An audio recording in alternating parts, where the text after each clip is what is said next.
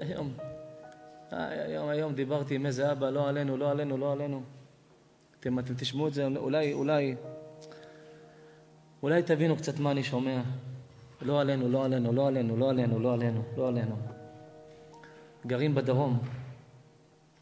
הוא, שאלה, השם ירחם. הוא מסיים עבודה, אייל, תקשיב, חיים שלי. הוא מסיים עבודה בארבע וחצי. הוא מגיע, הוא, העבודה לבית, שבע, שמונה דקות. אם יש פקקים, 12. הוא מגיע הביתה, הוא מגיע הביתה בשש וחצי. כל יום. אשתו אומרת שהוא משוגע. אומר, הרב, אני לא משוגע. אני לא יכול, אין לי ברירה. הוא אומר, אימא שלו גרה עיר מעבר לאיפה שהוא גר. נסיעה של איזה 30 דקות, 28 דקות.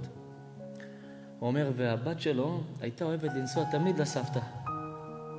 וכל פעם בדרך לסבתא, היא הייתה יושבת לידו, לא עלינו. והיא, מהעייפות של הבית ספר, הייתה, היה שם לה שירים והיא הייתה נרדמת. הוא היה מעיר אותה, לוקח אותה לסבתא, ככה כמה דקות אצל הסבתא, היית לסבתא, אוכלת, משחקת, מחזיר אותה הביתה.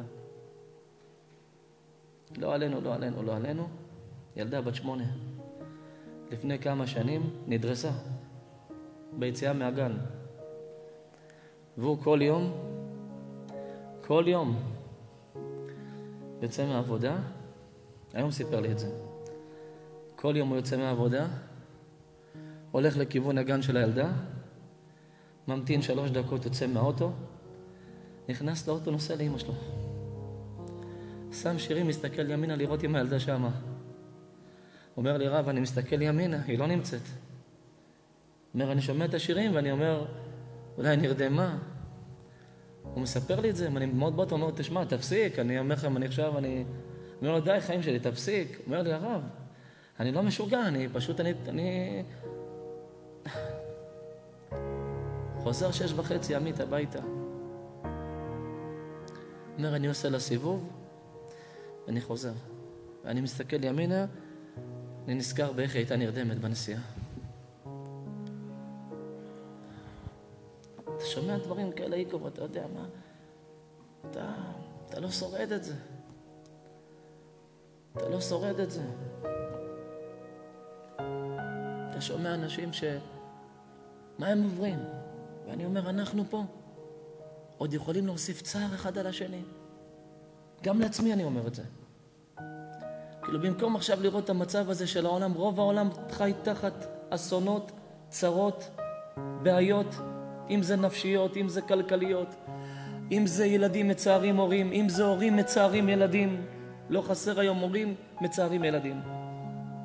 אתה שומע דברים, איגור, אתה אומר יום, יום, יום, יום, כמה עצב יש בעולם, כמה צער יש בעולם, כמה, כמה עצבות יש בעולם. ואנחנו פה יכולים לשמח קצת אחד את השני. קצת לעשות טוב אחד לשני. קצת זכינו בתקופה כזו רעה, בתקופה כזו קשה, שהקדוש ברוך הוא נתן לנו ללמוד מה זה, מה, קצת חסדים, קצת רחמים. לפעמים אתה רואה אנשים, אתה לא יודע מה הם עוברים.